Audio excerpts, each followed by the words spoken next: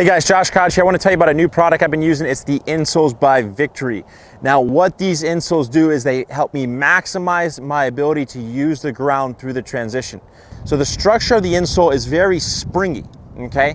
So as I load my right foot through the transition, as I start to push off the ground, along with that, the insole will start to actually spring and allow me to leverage my body and the ground a lot more efficiently, leading to increased club head speed.